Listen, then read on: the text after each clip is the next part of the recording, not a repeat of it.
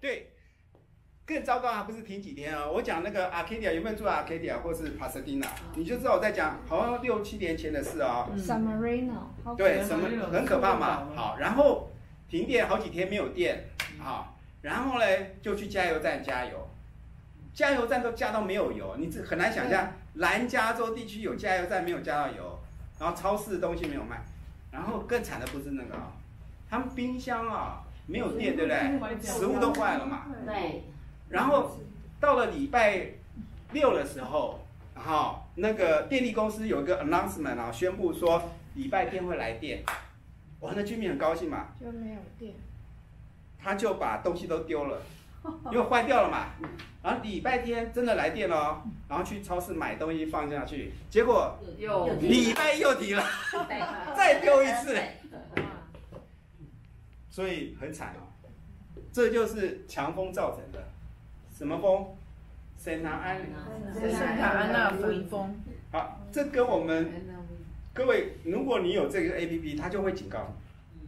事实上，前几天已经有警告过。对，前上个礼拜不是 Riverside 发生大火、哦，很神奇哦。现在科技哦，我跟各位讲，真的太神奇。以前森林发生野火的时候啊，加州长时间一年比一年严重啊。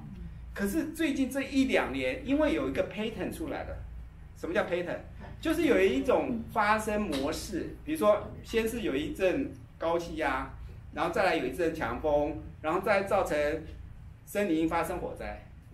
所以现在就可以有预警系系统出来了，就是森林野火你可以提早预防。今年我就看到一个很有趣的现象，在两天前就我收到预防，呃警告南加州会有野火，我说今啊 gay 的，哎结果两天之后 Riverside 真的很多人家无辜可无家可归。我在两天前就收到预警，听懂吗？南加州哦，那北加州更惨哦。我们？对，我们早上呢有一个 Annie 啊，就是 Erica 旁边那个 Annie 啊，她儿子是医生，在那个 Heaven City 有没有？对对对，北加，北加北加在靠近那个 Napa 那一头哦，前两年哦，都都烧了，他是高手的，结果十个方都没有。都烧了，那现在有预警啊，以前是没有哦。对呀，你只要有预警，他就会告诉你。那地震有没有预警？有，你确定？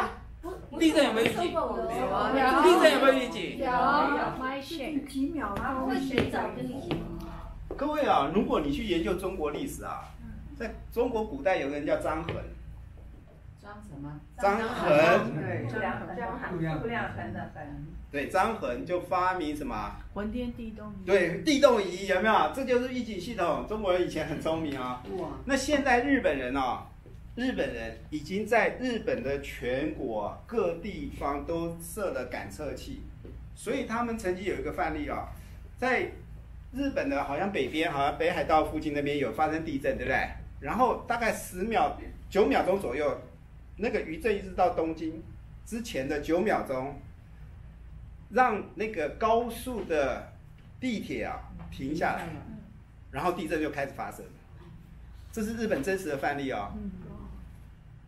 有九秒钟的时间让你去，比如说开什么做预防，至少那电车没有出轨啊。嗯 这是日本真实的。所以现在我们在 Berkeley 也在做这个，UC Berkeley 啊也在做这个事啊。嗯那在外海会有海啸嘛，所以有海啸预警，有地震预警，有什么啊？所以各位有机会，我们回头去再上这个这些，包括气象这些，我都可以有机会跟各位分享。啊，你怎么看？啊，我们在南加州其实比较幸运的是，我们只有偶尔会发生地震，可是我们没有太多风灾嘛。那如果你在台湾，你要会看懂气象雷达图啊。各位看懂吗？看不懂啊？没办法啊，你不是海军啊，所以你看不懂。我们从小不晓得嘛，那比如说暴风半径多大，它行进的轨迹你都要知道，这会造成风灾。那在美国也没有 hurricane？有。有。有很多，只是各位运气很好，我们南加州很少发生啊。墨西哥，在德州，你知道在对美国的西海岸比较少，对不对？错，美国的西海岸我们这边纬度比较高，你到纬度低一点，到到墨西哥那边很多飓风哦，也在西海岸哦。只是我们在南加州得天独厚啊，各位知道吗？我们在南加州，如果你把墨西哥往下走，同样靠太平洋也会有飓风，在加勒比海那边也有，这边没有。好，那都要感谢我们美国的先圣先贤，什么意思？从墨西哥手上抢过来。好，那这个另外有时间讲，这个都是跟风险有关啊。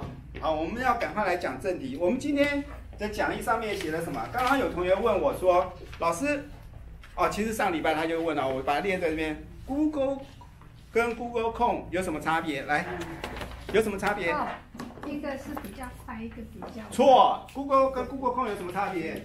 一个搜寻搜寻你要不要上课？Google 跟 Google 控有什么差别？Google 是 search，一个浏览器，对，一个 search engine，一个叫 browser 嘛。那你还没有回答问题啊？来，browser 跟 search engine 有什么差别 browser 跟什么？？search engine 哦，search engine，search engine 就是有什么差别？这两个有什么差别啦？两个都找东西的。错，哦，找东西是什么？Google Google 是 search engine 嘛，是 Google 嘛。那要看网页嘞看 Google Chrome，，Google Chrome 嘛，那个叫 browser 嘛。对，啊，我们以后会花时间再来讲这个细节。那我先回答同学，这两者最重要就是你要去找东西，你就在 Google search 就好了。啊，你如果你想要知道一个网页，直接打进去，那你直接在空里面就可以打了。好，我们来看一下第二个 Gmail System。各位有没有装过 Gmail？我上礼拜有讲，唯一的邮件，一个人可以几个 account？unlimited，unlimited 嘛，有没有？它安不安全？不安全。不晓得哦，我们等一下讲啊。我这样好，我等一下讲，因为这个更精彩的在第三个。各位看一下第第一页的下面，Line App 是什么？呃，来，你先注意听啊。Line App 是什么？在的应用软体，这个应用软体是干嘛？社群啊，社群网站，社群网站吗？这个是应用系统哦，这不是网站哦，这是让我们去跟别人做很有效的沟通，沟通嘛。比如说我要传讲义给各位，我用什么讲义？什么东西 Line？Line App 嘛。嗯，比如说我要把这么精彩的实况教学录影要分享给各位，怎么做？好，从 line 就送给他。对。那比如说有骇客要把病毒丢给你，怎么做？Line 也是 Line 啊。好，比如说你傻傻的不晓得去扫描一个 QR code，结果你中标了，那是什么？也是 Line 啊。所以它有很方便，对不对？它也带来什么？风险什么风险？太大的被你怎么知道？因为我中过，恭喜你！我中过，你为什么不早点来上我的课嘞？一定要等到受害了之后才觉醒，才知道台湾会馆有这么好的老师，除了语文老师之外，还有一个电脑老师。好 请问你分享一下，方便吗？啊，你怎么受害的？因为小朋友，事实上我不知道，就是小朋友去 download 免费的游戏，那玩一玩以后就中毒，电脑就当掉当掉。那跟那有关吗哦，不是，我是说我中过毒。？OK，那跟那没有关系。老师，我们公司试过一次有中毒，是公司哦。嗯我们经常上网去拿东西，但是谁一个人呃呃拿了这个东西，我呃拿了这个毒不知道，但是我们公司的所有的呃那个电脑都当了，都不能用。它是先可以用一点点、一点点、一点点，然后就锁住，全部都锁住了。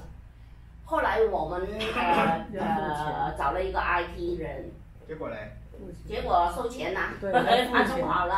哦，我不知道他怎么弄。我告诉各位啊，你们这些都小事情啊，在美国有很多地方政府被骇客勒索，最后保险公司帮他赔钱，否则嗯美国有很多小的烫啊，它的公共服务，就是。什么叫公共服务？比如说，你可以在网络上缴水电单嘛，对，你可以在网上申请有一些 application，比如说你要申请什么表格，对不对？这些都要透过什么？网络网络嘛，internet 嘛，对不对？是不是很方便？然后呢，这些小的呃小的 city 啊，或者小的 county 啊，他没有能力请那些专家级，就像我这种懂得防范的人，懂我意思吗？这种人不多哦，懂观念又懂得实做的人不多，他们就去买保险哦。有一种叫骇客险啊，听懂吗？所以最近这几年啊，现在美国的国土安全部已经介入调查了，因为这个问题很严重，很多的小烫，包括加州，包括佛罗里达，整个 crash 的。所以他们在礼拜六的时候下班的时候还好的，礼拜天 crash，礼拜一上班什么都不能做，然后那个 city 或者 county 人就会收到一个邮件，如果你想要恢复你的 system recover 要怎么办？付钱。付什么钱？啊，比特币，听懂吗？哦，比特币啊啊！他拿到比特币以后，这个骇客很守信用哦，就开了。开了，就开了。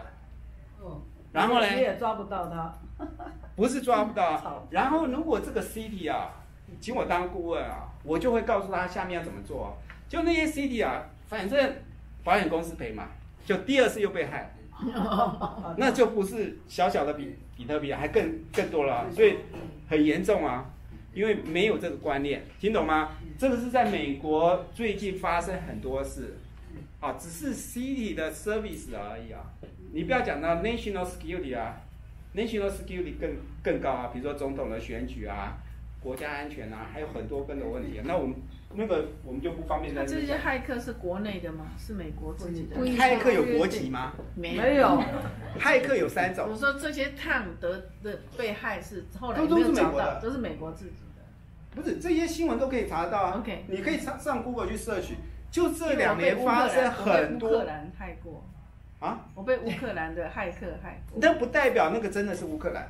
OK，骇冒骇客只有三种啊，嗯，跟国籍没有关系啊。男人女人，还有嘞，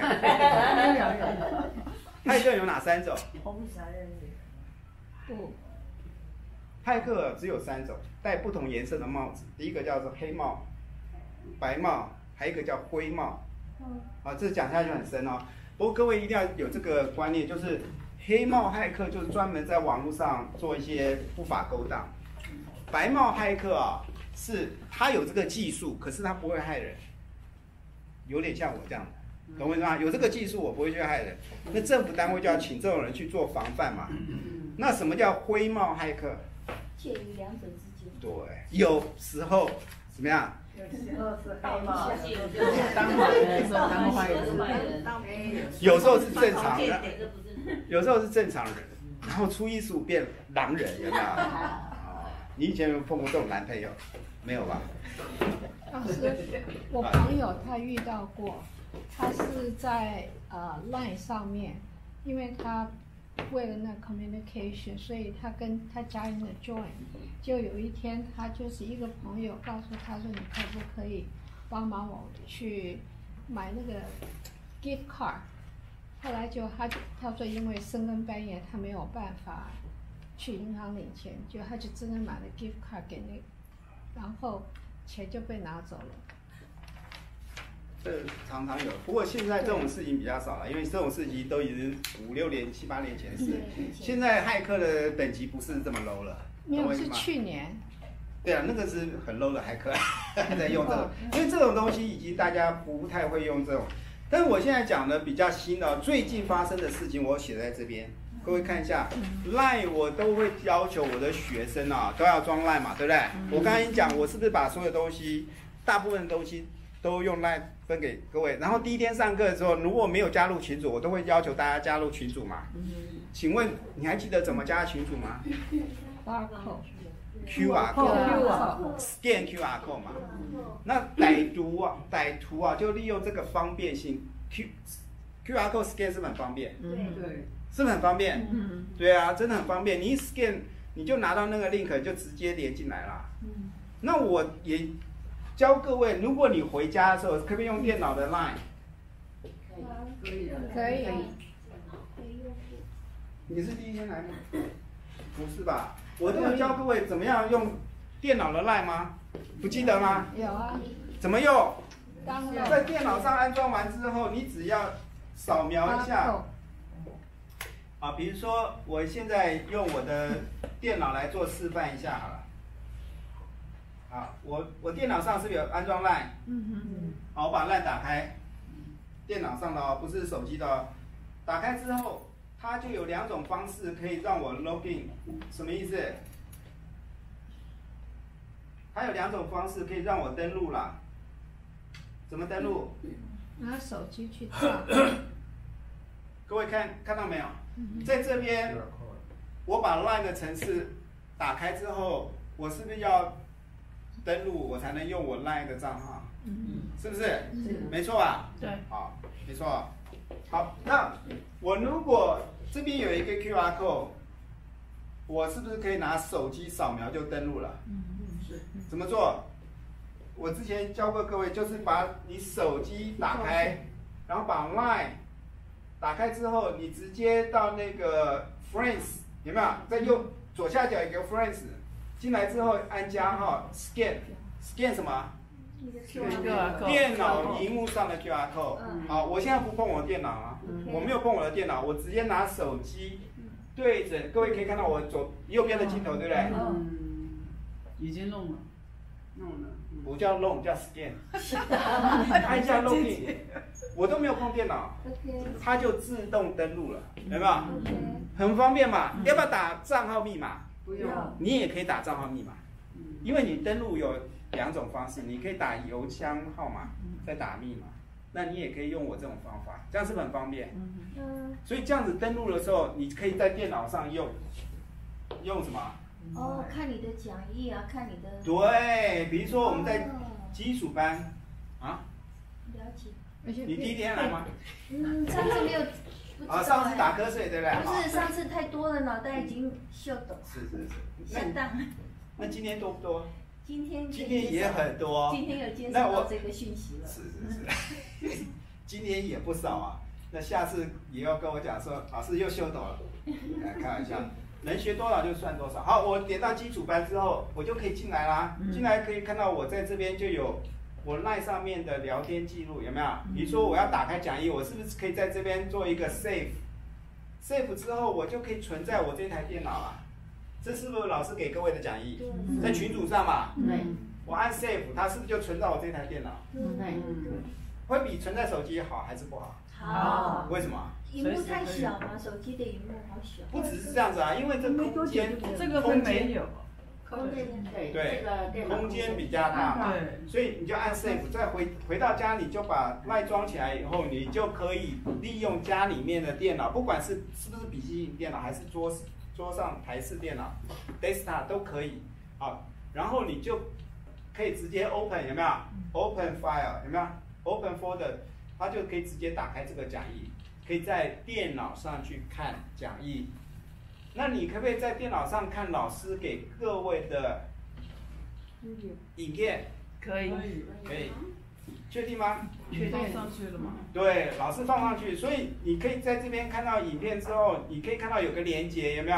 嗯。有四个连接，比如说我要看上礼拜的《天下为公》，有没有看到？有。啊，为什么讲天下为公？因为是无私，听懂吗？好，好，这样子我就可以把影片在我的电脑打开，然后直接来研究一下这个哦，这是进阶班的手机的摄影的一些概念，对不对？手机的编辑照片，把照片登录下来。我们马上要来。这个帅哥是谁？哦，对，那我就现在马上来做。好，那。所以我们在电脑上也可以用，那因为很方便，所以歹徒就利用这个方便性，所以他从 QR code，如果你傻傻的在某一些地方去扫描一些 QR code，嗯，理论上你是不是连到一个网站？嗯，对。但是比如说你连到一个网看网站或是怎么样，它可能会就会有一些东西叫什么？我写在这边啊。自由。看懂这一句英文吗？来，我们请英文老师，来，英文老师也是你，台语老师也是你，中文老师也是你，来，就是这个事情实在太好了，不可能是真的。对，简单讲叫什么？不可思议，你想得美啊，美的冒泡啊，对吧？所以当你上网的时候，尤其男生要小心点啊，太养眼的时候要注意啊，那通常都是包藏祸心，有没有？啊，比如说有些东西你看到的东西是好像 很好，有没有？那你就傻傻的，比如说，比如说他会 announce 说有 whole m 的限时下载。啊，免费的 sticker 有没有？前一阵子还有什么免费的 Starbucks？哦，哦，不知道，不知道，有没有？所以这些免费或怎么样，会怎么样？我举个例子，各位以前我们在 shopping mall 啊，去中庭都会看到有一辆豪车在中庭，然后围起来，旁边有很多人在写什么？抽抽奖抽奖啊！抽奖那请问你写了是不是有机会中奖？有中奖给那个你以为人家讨卡派去啊？你写一张要不要花钱？不要钱，这个叫 too good to be true 啊！你写一张丢下去就有希望，对不对？你这个叫做 victim，有没有？就成为受害者。什么受害者？电话诈欺，你的 personal information 你写的是真还是假的？真的，至少你会写一个电话是真的嘛？对，不然你怎么抽奖对？所以他们就利用这个陷阱哦。你写了一张就会中到一个车子，那你就好像那一个在大海里面快乐游了一只鱼，看到有一只蚯蚓就咬下去，结果嘞，上钩被钓，被钓上钓，吃掉。听懂吗？这个就不错啊。网络上钓鱼的太多了，钓鱼的是什么意思？如果你上网可以看到常常有 fishing 啊，有没有？fishing 不是这样说真的钓鱼，是在网络上它设很多陷阱让你去上钩。所以这个时候我刚刚讲的 awareness 就要发生作用哦，有没有？我们上个礼拜不是讲吗？天上会不会掉馅饼？不会，天上掉下来好最好的礼物是什么？什么蚕？什么蚕？所以小心一点啊，啊，小心一点啊。那个索勒索比特币那个，他有得到钱。当然了像这个的话，这一类普通那种骇客，他得到什么？哦，他得到很多。卖去卖广告啊，他就是得到卖给卖给那些我随便我随便讲一个例子好了，卖给别人，那个都是小咖，你也很有可能有一天被警察传唤，哦，因为你家的 IP，比如说你在家受害，你你他在你家知道你的电脑对不对？你在家上网有没有？你是透过这个，你会上到某个网站，他知道你是透过什么路径，会有一个 address，IP address。骇客啊，利用一个技术叫跳板，跳板听懂吗？他把自己隐藏起来，啊，用你的跳板拿去做勒索别人，懂我意思吗？比如我们刚刚举那个例子，那个警察去追啊，那个骇客的时候，追到有一些人，他说我没有做这个事啊，那到底怎么回事？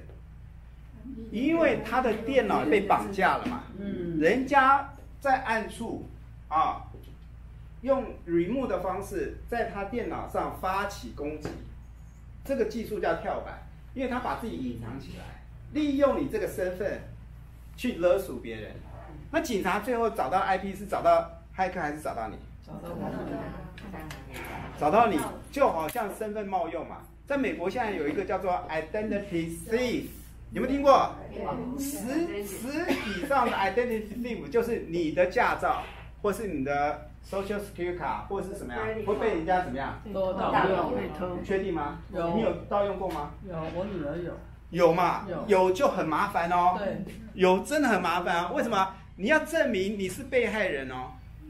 那往往人家拿你那个去做很多不法的勾当，比如说他申请信用卡，那都是小事哦。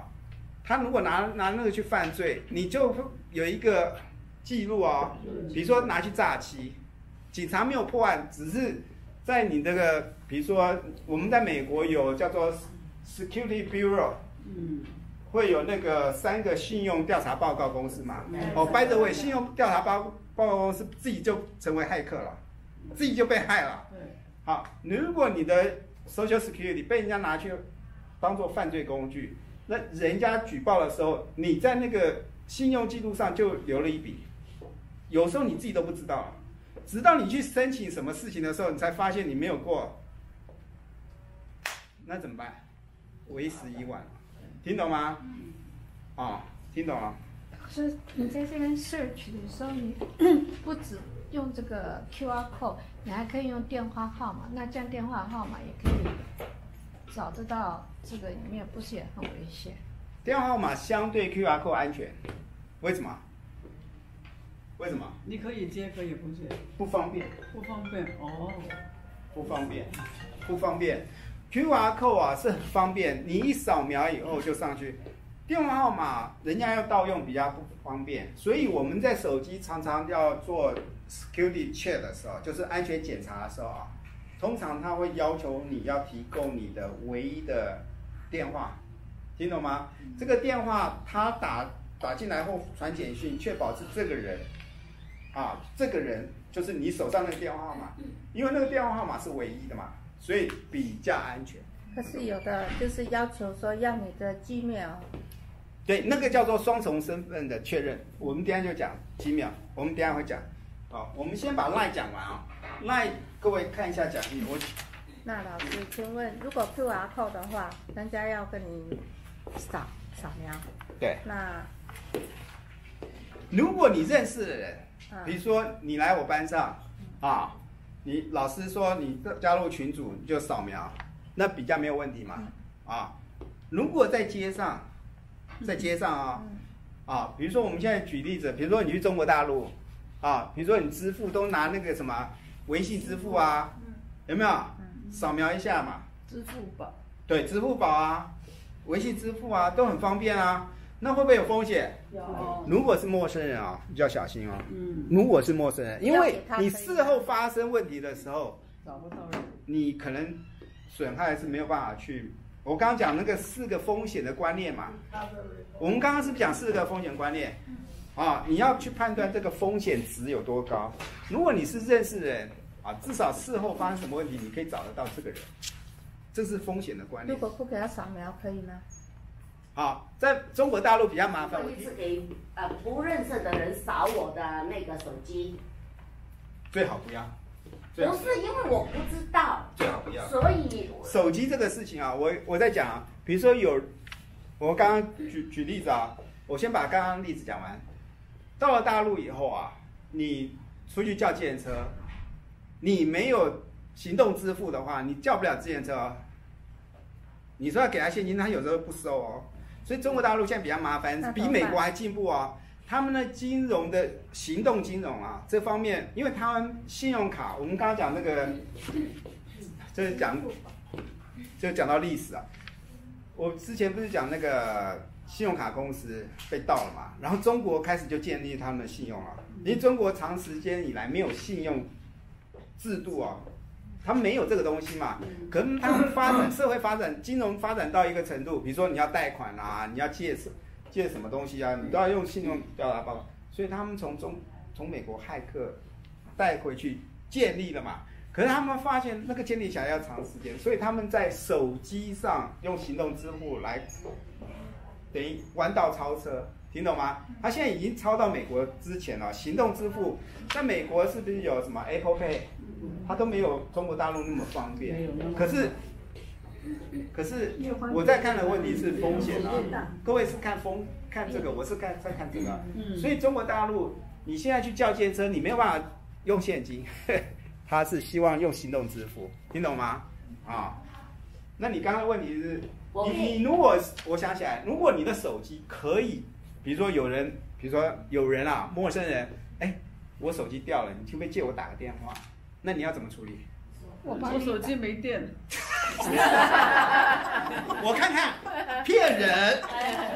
我就是不给你以为对方是瞎子吗？啊，那怎么办？不要借啊！不借啊。哦，你刚才讲说，Stan 老师说的，我做坏人就好。嗯，不要借人家。嗯，对如果真的你很可怜他，你帮他打这电话，对，你帮他打这电话，他电话真的没电，我有我有帮小孩子，你你你愿意帮忙，你就用把风险降到最低嘛，那就不方便嘛。嗯，什么叫不方便？这风险在我自己掌控嘛。他要打给谁，我帮他拨啊。对，他要讲什么话，我帮他讲啊。比如说这边有一个人叫他什么，然后我顺便把他 ID 先照一张。哦，听懂我意思吗？嗯，万一我打电话去变诈骗集团嘞？我先照他的你照。我刚刚不是讲跳板的观念吗？你有可能变成受害者，那人家收到一个电话，可能是诈骗电话，你变成加害人嘛？听懂这句话吗？你打通这样的电话，最后警察找到是你，你为什么打这通电话？你说你帮某某人，你可以举证吗？不行，所以我有驾照，也可以举证，听懂吗？所以这个叫做风险观念。你有风险观念，你知道会有不方便，不方便至少比后悔好。嗯，对对对对不对？啊，要不然就像你脸皮够厚没电，对，听阿伯没有没有，我不懂英文我。真的有试过帮有个小孩子在摸那边等，他说我没有电话，那我真的帮他打电话给他家里人来但是接。我也试过啊，我真的我不过在墨了哈，呃很简单，我告诉你，我我就教你啊，墨有 security 嘛，嗯你叫 security 来帮他处理啊，嗯你不要自己处理嘛，嗯你在墨很好处理啊，，OK，听懂啊？嗯，啊，所以所以你去找那个防人之心那个安保安科务害人之心我们要有，我为什么讲那么小声？老师，我是那种很鸡婆的人，我常常很热心给人家帮忙的。你有没有这个观念？如果你很鸡婆，我我没有说你不应该鸡婆啊，可是你有没有这个观念？有啊，如果你越鸡婆，你越没有这个观念，你是在害别人哦。害自己，害人害己。对你可能也害到别人哦。哦，我可以讲很多例子，但是我们今天不要讲。如果你没有风险观念，你可能在变成加害人、害别人。你是出于好意帮助别人，可是你可能间接帮助会害到人，听懂吗？老师，像说有一位嗯，大概二十几岁男生按电铃，说他没有手机。哎哦，那个千万不要开门，嗯，这很危险，很危险，很危险。他说可不可以帮我拨电话？门都不开呢。啊，然后手机给他去播，那有没有关系？不行，他把你手机都拿走。哦，没有没有拿走，他真的在拨。啊，那这样怎么办？你运气好，对没有变成受害人，对，千万不要做这个门都不能开。风险很大的事。哎呦，老师，你风险很大说有危险，呃，我们自己呃，又有时候真的忘了带手机啊，哦或者我上一次发生呃碰撞那个车子啊，我没电话，因为我忘了带电话，所以那个人就借他的电话给我，我就拨了打电打了两个电话。对呀、那那我怎么办？有时候人家你也不知道，因为人家帮了我好几次，我都是这样，我也试过帮人家，我但没有，我没有说你不帮忙，而是说你要先考虑这个，对的，先考虑这个。考虑风险来讲，我我比如说我不想承担这个风险的话，那那那个人出车祸，那个人是不是故意撞你的？还是你你故意撞他的？是是我不是嘛？是我撞的不小心嘛，所以这个风险值很低嘛，哦，听懂吗？懂那不是陌生人跑来说，哎，OK，借我一下手机，不是，那是某一个 accident，而而且是你主导的啊，对呀，主导那风险值比较低哦。我没有说没有风险，那个风险的 possibility，各位知道我讲几率的问题嘛？你去撞到人家那个人，你又没有手机，你当然要借他手机，他借你是应该的啊，因为他也要报警或是要找保险公司嘛，你也要给他驾照，对不对？对啊，他要看你的驾照，你有没有驾照？我有。我之前我之前跟老人家上课啊，我跟老人家上课，包括你啊，老人家啊，出门 我认了。出门要四个字，伸手要钱，伸手要钱，身份证、手手机、钥匙、钥匙、钞票、钱包，你有没有？请问你这位老人家有没有遵守我？伸手要钱？没有的话，至少要带手机。手机，如果没有的话，至少你要带手机。为什么？因为把驾照 scan 在手机上，哦，这个。然后用 Apple Pay 支付，明白吗？啊，当然美国很多就是信用卡直接支付，所以至少伸手要钱，听懂了吗？啊，我们不要讲太多题外话。可是我跟你讲这么多事情，我已经交代你这个东西你要先考虑 awareness 有没有？是不是可以可以理解？好，我们赶快回来讲 Line，我们还要讲 Google，可能 Google 没有时间讲啊。所以我们先来看一下，如果你在 Face Page Two，Page Two 有没有？Page Two 下面第二段，我们必须知道恶意人士或是诈骗集团会怎么造，怎么盗用账号，有没有？各位自己看，我来讲一下，在我的 Line 上面，各位最下面是不是有四个图？嗯好，我们今天时间不够了，各位问题太多了。好，没有关系。我希望各位至少把我们重要的观念都要学会啊，因为这个真的很重要，要保护各位，要建立正确的风险观念。好，我们把这个讲义打开。啊，讲义打开之后，各位看一下最下面是不是有四个图？是是不是有四个图？第一个图是什么？设定按钮嘛，从末进去，对不对？对。第二个图呢，设设定进去检查什么？个人账个人的账号有没有？嗯。第三个呢，进到个人账号，检查自己的账号。然后看 device。进到 device 之后呢，如果你被人家盗用身份了，好，这时候就会出现莫名其妙的 device 在用你的 LINE 账号。在哪里？在这里。我知道。我做一次给各位看，各位注意看哦，注意看哦。我把我的我把我的 LINE 秀到电脑上面，各位看一下。